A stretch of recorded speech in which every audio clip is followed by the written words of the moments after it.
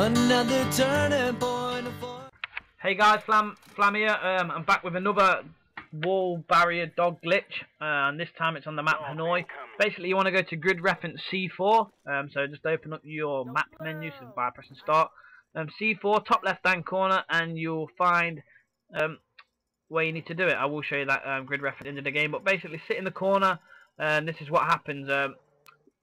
With the other glitches, you can't actually let the dogs stack up into pairs, but this one you can actually allow as many dogs as you want to sit in front of you and they won't get any closer than this. So just um, a big shout out to my friend Insane Shooter just for helping me. But you can see there, look, two dogs and they will not touch you. So when you hear the dogs go, woo, woo, woo, where the dogs at? Oh, oh. I don't know how to do it. no, I'm not DMX. But this is just me now um, doing exactly the same uh, thing. Uh, I've actually got three in the body and my friend uh, Claymore 26 realizes the dogs are inbound, so he comes and sits in with me.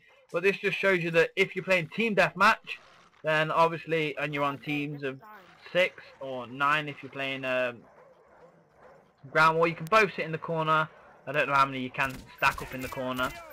But you can sit in the corner and the dogs will not touch you. So yeah, I've got a couple more of these videos rendering and coming out now. So please rate them, comment them, because a lot of effort does go into them, and liking them and everything does give me a big hand. So rate, comment, and subscribe. Cheers, guys. Bye.